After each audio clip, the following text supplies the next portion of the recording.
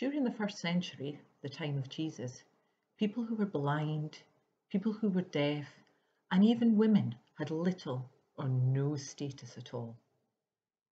They were constantly removed from populated areas of life, basically ignored. In those days, people were afraid of anything that was different than the status quo, and Jesus embraced that. The story of the Syrophoenician woman and the deaf man are intricately linked because they demonstrate Jesus' willingness to upset the expectations of the world and welcome all into God's love. In today's story, Jesus will test the Gentile woman by giving her the first half of a sentence. He wants to know how she responds. She impresses him and her daughter will be healed. So here's ones for you. Here are the first parts of some well-known phrases. See if you can figure out the second half.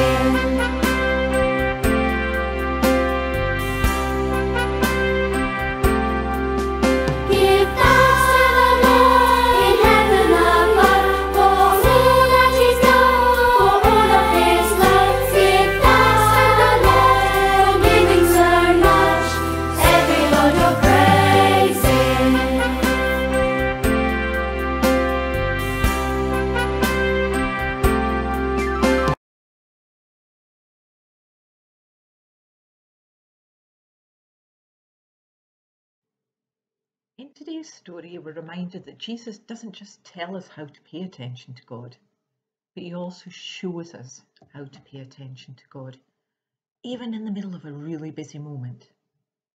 In today's story, we see Jesus step away from the noise and the busyness of the crowd. We see him take a moment to ask God for help, and then we see him act.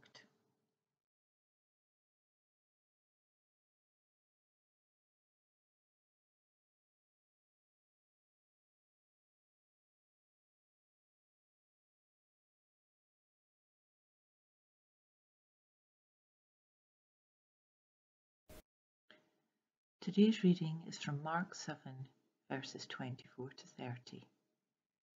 Jesus and his disciples left the region of Galilee and went to the foreign region of Syrian Phoenicia near Tyre. Jesus entered a house and did not want anyone to know that he was there.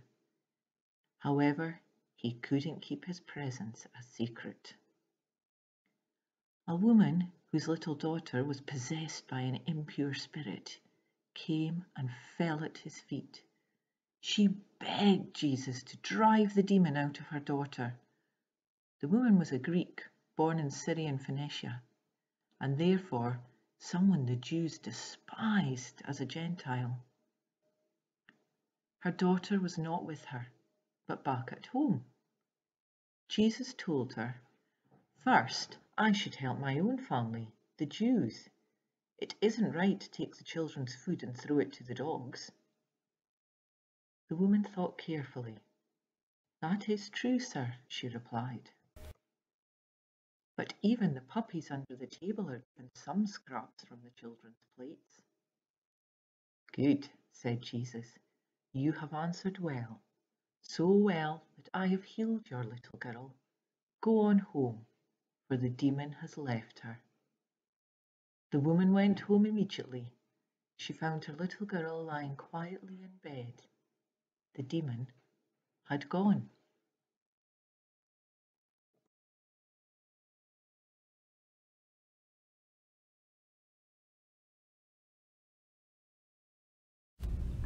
Jesus heals the deaf and mute. Some people brought a man to Jesus who couldn't hear or talk. Please make this man well, they said. Jesus and the man stepped away from the people. Jesus didn't want everyone to listen when he talked to the man. Jesus put his fingers into the man's ears. Then Jesus spit into his hand and touched the man's tongue. Jesus looked up into heaven. He said, Be open. As soon as Jesus said this, the man could hear and talk. Jesus told the man and his friends to not tell others what happened, but they were so amazed that they just kept talking about the wonderful thing that Jesus had done. The end. After healing and teaching in Jewish territory, Jesus moves to the Gentile region of Tyre and Sidon. There he encounters Gentiles in need of healing, full of hope and faith in Jesus' healing ability. The people bring the needs of a sick girl and a deaf man to Jesus. Jesus heals them, and then he continues on his journey, urging the crowds to keep quiet about what he has done. Today's story explores how outsiders are included in our journey of faith. The Gentile woman and the disabled man are both people who are considered to be outsiders in Jesus' society. But there are no borders to God's love and welcome.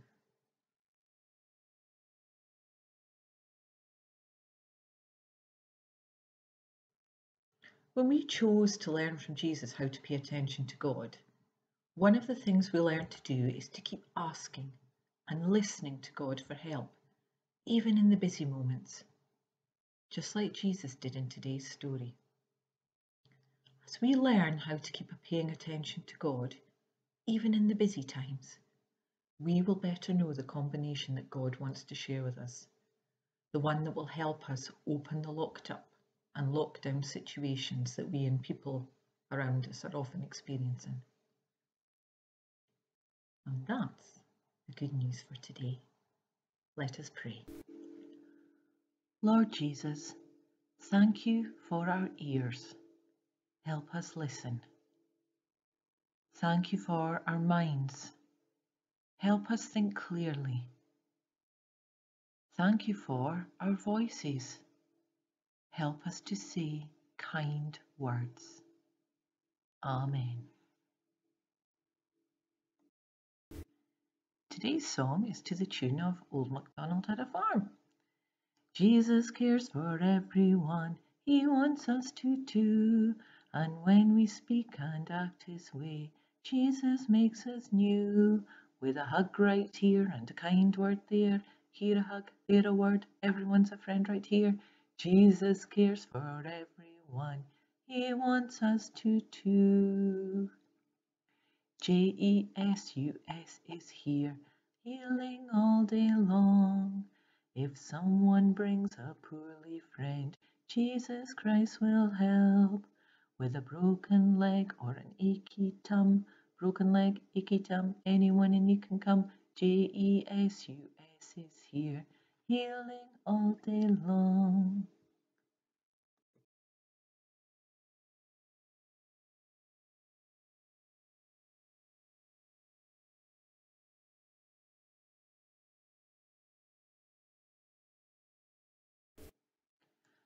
I'm just a little prayer bear. I'll sit upon your bed. It's my job to remind you when your prayers should be said. When you put me on your pillow as you make your bed each day, remember as you hold me to take the time to pray.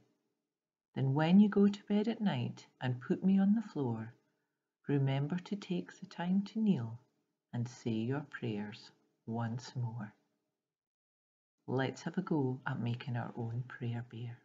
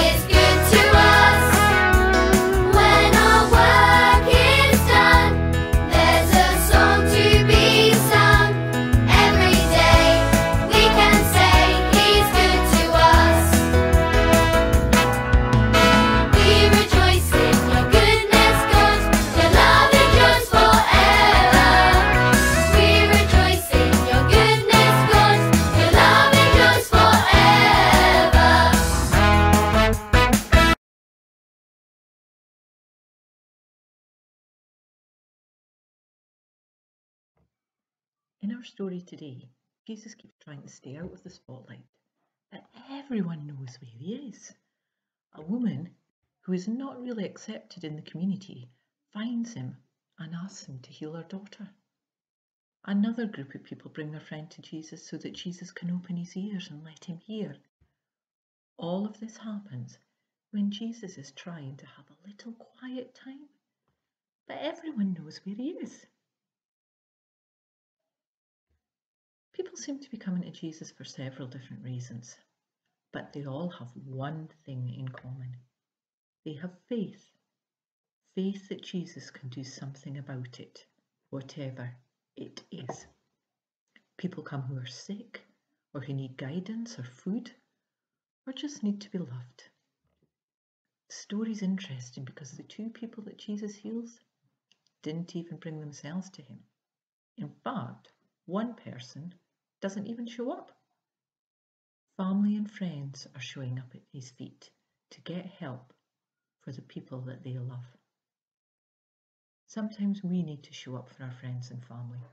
Sometimes we need to be the ones who have faith when others cannot. Loving Jesus, as we leave today, help us to tell everyone about your amazing love. May we trust and serve you like your disciples did. Amen. Here's a little going home song to the tune of Row, Row, Row Your Boat. Bye bye everyone, now it's time to go. Make a difference everyone, just like Jesus shows. Bye bye everyone, now it's time to go. Make a difference everyone, just like Jesus shows.